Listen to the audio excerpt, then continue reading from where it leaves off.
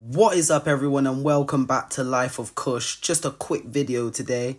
Seeing as we're in the middle of anting season, I thought I'd give you a couple tips to help you catch yourself a queen ant this year.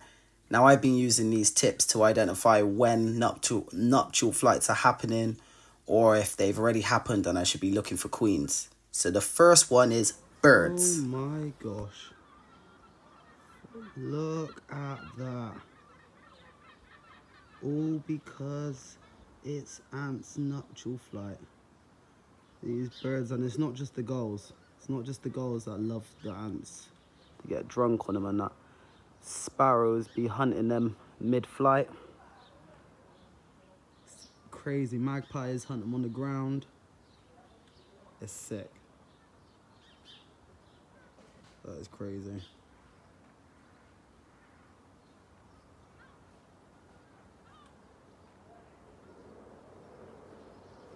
After seeing those birds in the sky, I already knew straight away it was nuptial flight as I did see, as you heard in the video, sparrows hunting them.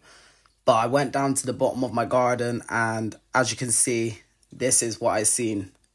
So that tip definitely does help and probably, well, it might be only with large flights that you'll see crowds of birds in the sky like that. But even with smaller flights, you will see birds on the ground picking up queens. So that is a solid tip.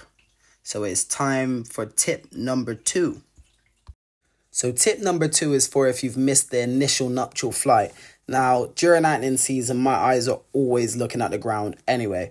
So if you come across these kinds of scenes, aka workers dragging dead drones back to their nest, then that is a very good sign that a nuptial flight has happened recently.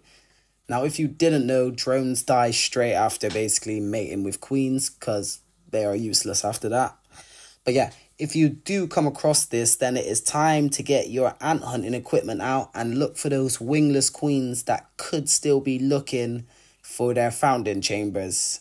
So those are my two quick tips to help you catch queen ants this year. If it helped, then leave a like and maybe subscribe for more animal content. But I've been Kush, you've been watching Life of Kush. I'm out. Happy hunting.